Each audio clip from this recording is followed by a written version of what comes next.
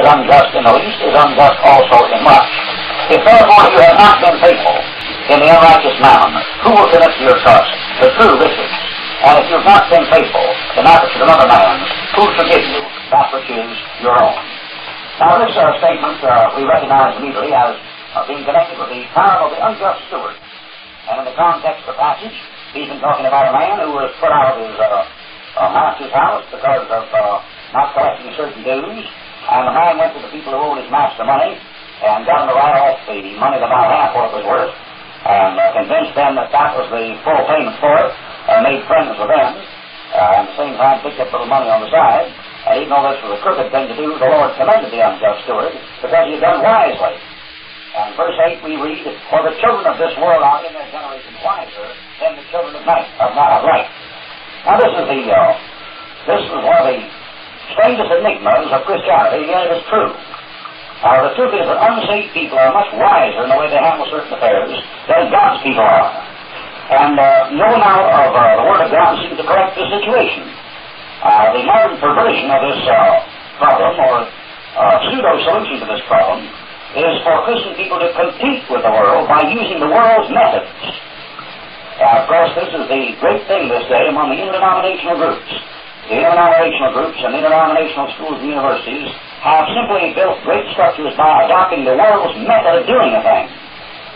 Now, of course, while they've done this, they've insisted they haven't compromised. But uh, anybody who's close into the situation sees be a dozen compromises. One of the greatest fundamental universities in the world that makes no statement at all about premillennialism, and yet its uh, president talks about the Antichrist in discussing Billy Graham. That's a ludicrous misfit if you ever heard of it. Uh, nobody talks about the Antichrist coming and being on this earth uh, can talk about it unless he's a premillennialist. And yet the school dares not make any premillennial statement because lose a lot of its good Presbyterian enrollees. We have a school down in Pensacola that way. They take out of this so far in class and no further lest they offend little Catholic boys and girls are there who are still idol worshippers and idolaters. And that's how it goes. So the solution is not to adopt the world's methods. The solution, though, is to recognize that when it comes to getting what they want, the world is wiser. Now, that doesn't mean that you're to go about competing with the world to get what they have by the same methods they do it. That isn't true. But it does mean when it comes to getting rewards in heaven, when it comes to getting uh, crowns at the judgment seat of Christ, when it comes to pleasing the Lord, when it comes to bearing fruit, when it comes to winning souls, the Christian should use wisdom, and usually he doesn't have it. And usually unsaved people have more of it than the Christian does. Upon this unjust steward's manipulation of these funds, uh, Jesus applies the parable by saying, Make to yourselves friends the mammon of unrighteousness. I heard a rich lady quote that as a life verse. She was trying to prove that Jesus Christ told you to make friends of riches. You know, get rich, be friendly with money. And of course, this violates a thousand other passages, like uh, they will be rich, fall in many hurtful and foolish which drown men in perdition. And the love of money is the root of all evil, and be content with such things as you have. And having food and raiment therewith, let us be content. And lay up treasures upon this earth, but treasures in heaven. For where your treasure is, there will your heart be also, and set your affections on things above and not on things of this earth. But you know, if a person wants Scripture to prove a lie, it isn't hard to find. Now, the passage doesn't say that. The passage says, make yourselves some friends by using the money. Use the money to make friends with. Why? That when he fails, like the unjust steward did, they, the friends you made with the money, may receive you and then the ominous note into everlasting habitations. He's not commending the money. Verse 11 says, If you have therefore not been faithful in the unrighteous mammon, he said it's unrighteous. Who shall give you the true riches? It's plainly wrong. But it brings out two tremendous points. Number one, the people do, do serve the unrighteous mammon, the money, they are more wise in their approach to it than God's people are in their approach toward the true riches. And the second uh, soul shattering part of this text is the subject of my message this morning, namely, it pays to serve the devil. Mean, that's what he says in the text. He says, if you want to serve the devil, then do it right, and he'll pay you off right in the end. And he will. And he will. First of all, let me say this. He always has paid to serve the devil. Oh, say, paid, paid to serve Jesus? Yes. You be paid to serve the devil? No. You're wrong. It pays serve the devil. Yes, sir. I am calling the witnesses. I was going on the road asking different people their age, and he found a young sitting aloud there, and he said, uh, Sir, I notice you don't have a hearing aid. He said, No, I don't. He said, uh, I notice you don't have uh, eyeglasses there. He said, no, no, I don't. Uh, at your face all wrinkled, you're bound with the weight of years, but you don't, uh, you don't have a hearing aid or eyeglasses. So what attribute, to what do you attribute your tremendous uh, uh, health? And he said, well, I attribute the fact that I smoke and drink and cuss and got around and stay up late at night, live like the devil. And the inquiring reporter said, well, how old are you? And the fellow said, 17. He said, it pays to serve the devil, it pays off. It doesn't, doesn't pay off in the same kind of coins that uh, you get you get when you uh, serve the Lord. The Lord is paid. Paid Eve off. She got to pay. Payday someday.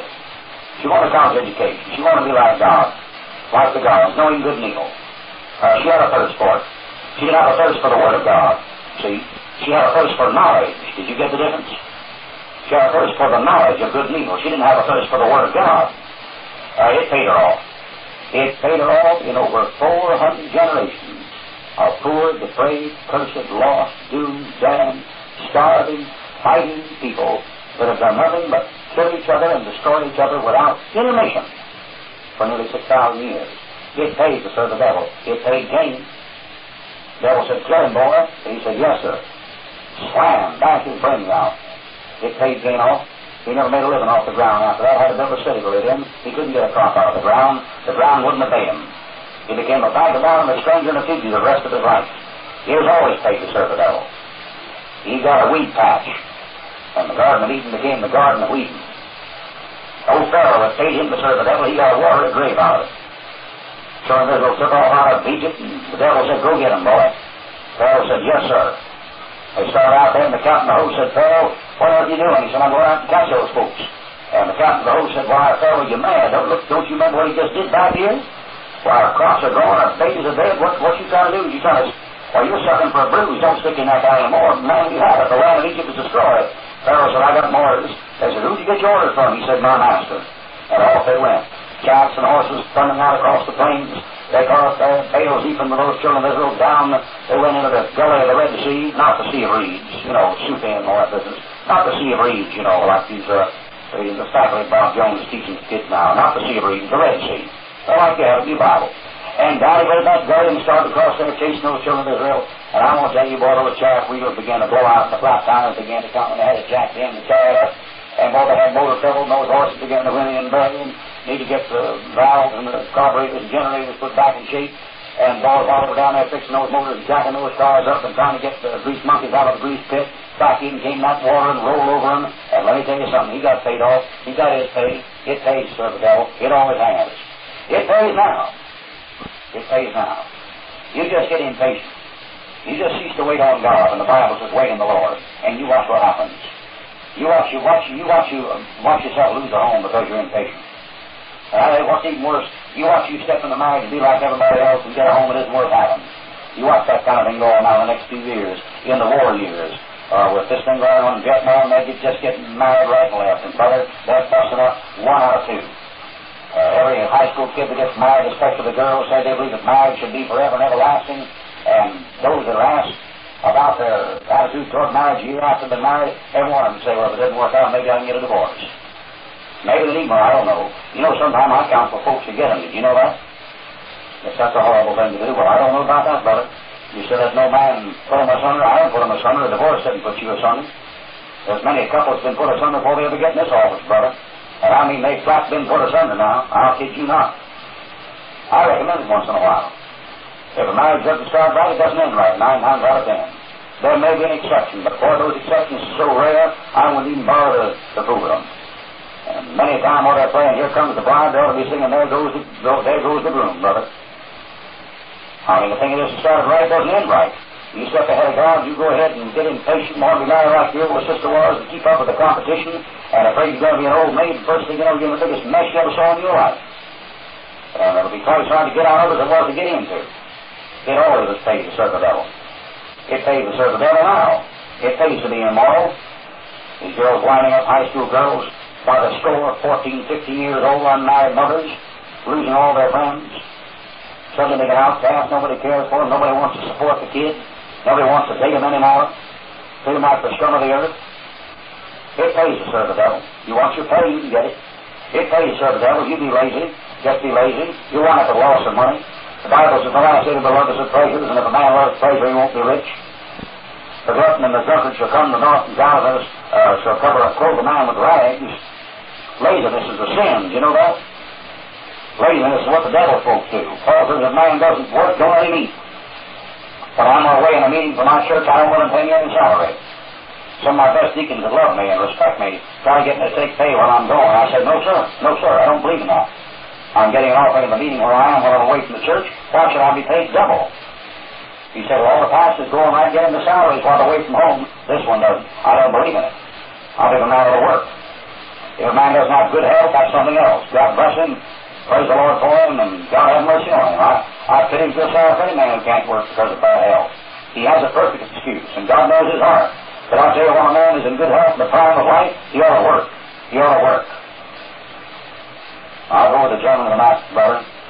Arbeit macht frei. You got to work, brother. You say, well, I just don't feel like it. All right, you get your pay. It pays now to serve the devil just like it always has paid. It pays now to be a glutton. Go on, be a glutton. You, you, it'll pay you off now. It'll pay you off in loss of health, dissipation. I mean, overindulging anything, overindulging, uh, overindulging sex, it'll pay off. Overindulging money, it'll pay off. Overindulging sports, it'll pay off. I know the quarterback that spoke one time to the boys girls at Chautauqua, the youth camp up Ohio. He was a dashing, debonair type of young man. I mean, boy, but he had a date list a mile long in high school. Had uh, talents out, out searching for him. And when he went from high school, he went right to a first line, first string football team in college in his freshman year, quarterback. And his daddy was a preacher. And this kid, uh, he had no use for the gospel the Bible, and thought his daddy was an old muttonhead. And I'm telling you about the third game he played, played in college. He hit a linebacker named Thomas that weighed about 250 pounds. And brother, he felt something go flying in the back of his head. When he opened his eyes again, they were carrying him on a stretcher out through one of the exits of the stadium, and the crowd was going low. And while he was lying there in the stretcher, he began to pray, Oh God, oh God, oh God. And a voice from heaven said, Oh God, nothing your God is back there in that field. It's a pigskin. He left his God back in the field. And that old quarterback got right. And when he got right, he got a football. He ruined his neck. He hadn't broken it, but he flat ruined it for any of that kind of thing in the future. He, he, he just it to the limit. He lived, breathed, ate sports, all he could think of. He just put God on the sideline. And then God sent in a substitution, put him on the sideline. It paid to serve the devil, brother. It paid to serve the devil. Worry, worry, worry. Get scared to death. Compromise in a weak moment. Watch what happens. I mean, worry about friction in the family, and worry about what people think about you, and worry about the cost, and uh, think about it's going to hurt your pride to take the steps you know you have to take, and then you don't take them. You cut a corner. You try to eat peace. Hold things together. Watch what happens. Watch what happens. It, it pays to serve the devil. Worry is the devil, does it? That Bible says, uh, does the Lord God comfort you, and who are, are, are you that you should be afraid of a man? He has said, I'll never leave you, forsake you, so him, but may boldly say, Lord is my helper. I shall not fear what man shall do in me. When my mother and father forsake me, then the Lord shall take me up. As one whom his father pities, so the Lord pities them that fear him. As one whom his mother comforts, so shall I comfort you, and ye shall be comforted, Jerusalem. Fear not, neither be thou dismayed. Be of a good courage, for I, the Lord thy God, have commanded thee. I am with thee whithersoever thou goest. The Lord hath spoken, shall not do it? He said, shall not make it good? Drawn, worry, fret, fume, fuss. It'll pay off in ulcers. It'll pay off in loss of influence. It'll pay off in folks knowing you're not believing. You can't take it. When the battle gets hard, you can't stand.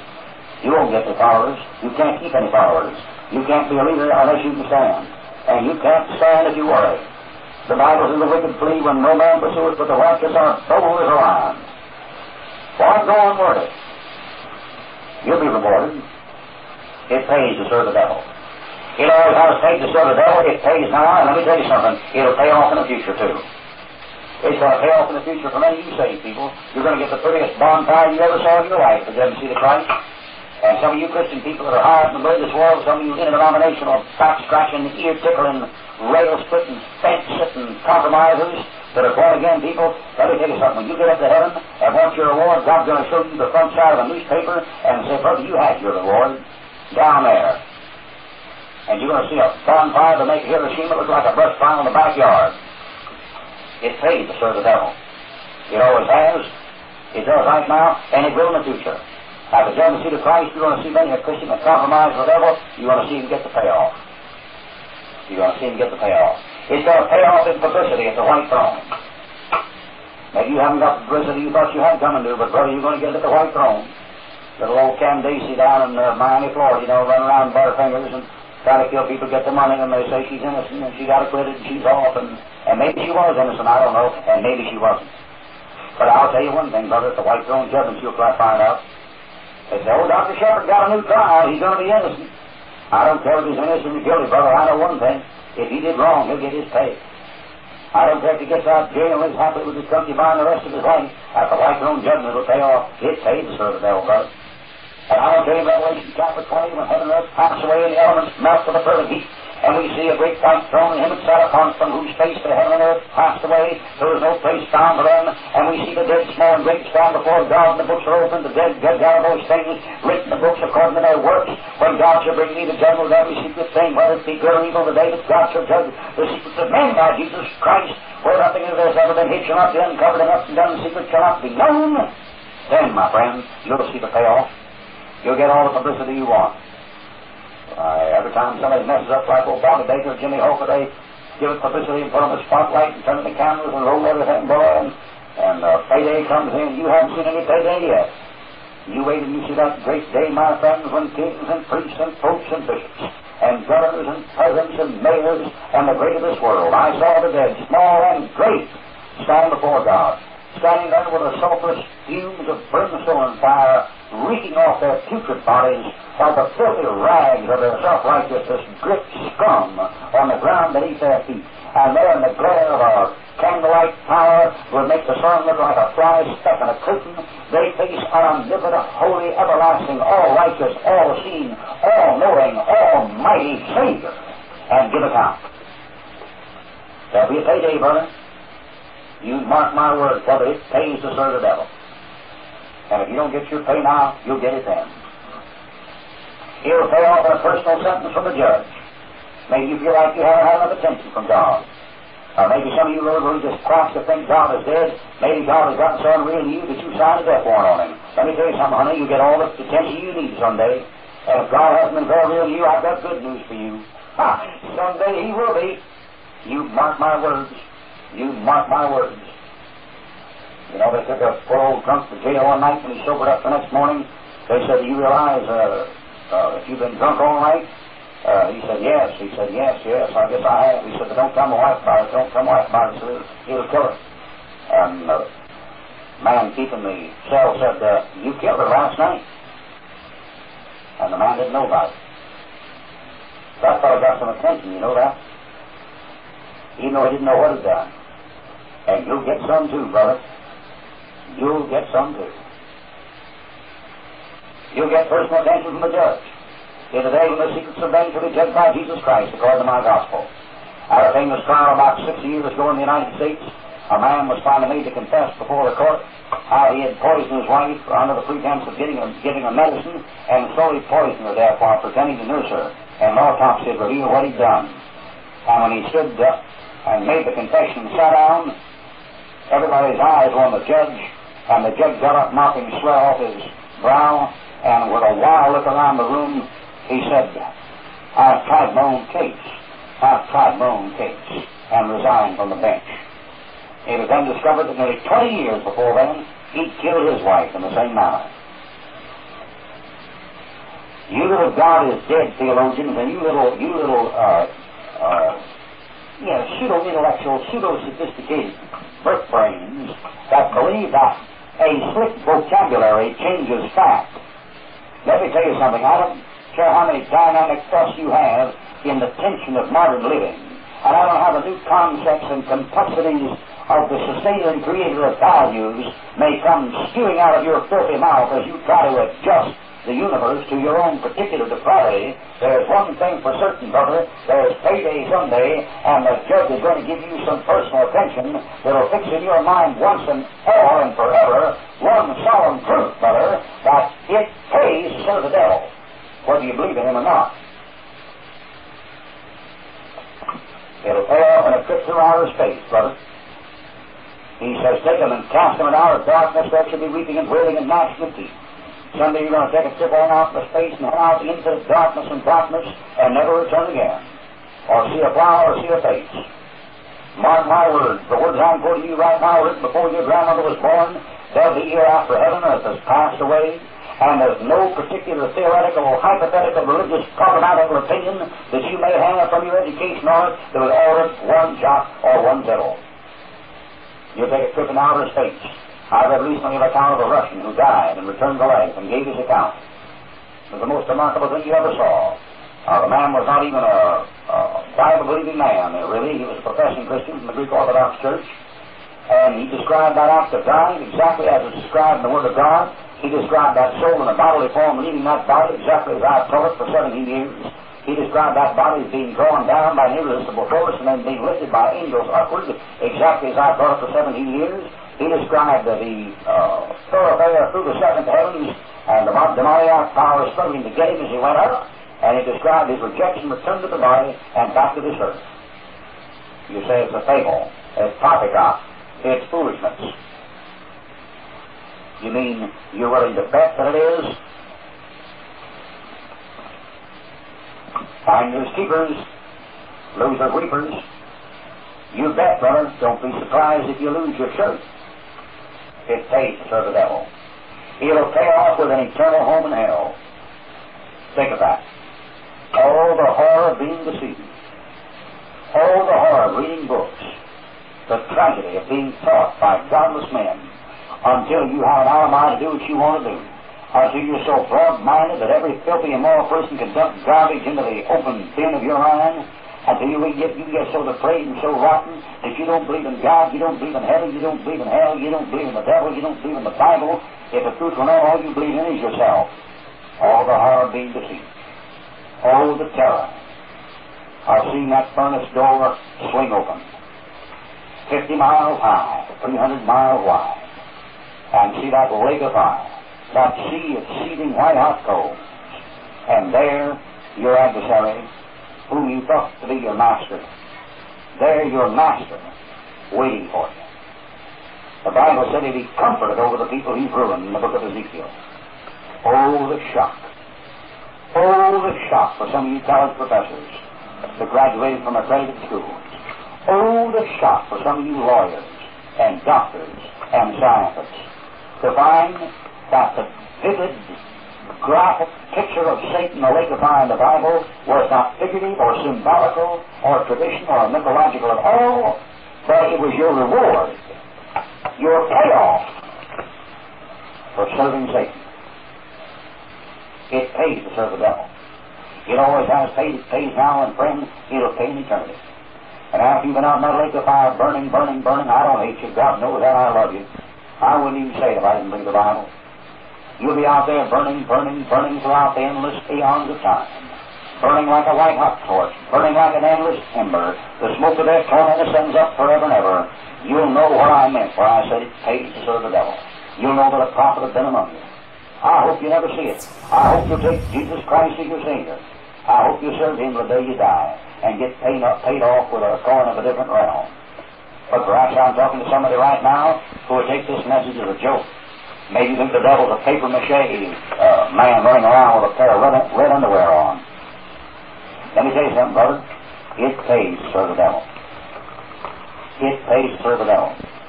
And when you've been out there in that lake of fire, burning in pitch and brimstone, 20 million years, there are several things you're going to remember. And one's going to be the words that are coming across to you right now by means of this tape. It pays to serve the devil. It pays devil. It pays. It pays. Oh my God, how it pays. Our Father, we pray that if there's any lost soul to this tape, they'll not take any chance on finding out the truth of what I've just said. We pray they'll turn by faith and accept the grace that you so freely bestowed upon them in Jesus Christ, your Son, and never have to earn these wages, this reward.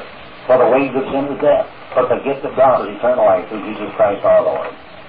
Father, save the soul that's nearest hell. You know who's listening to this tape? I don't know.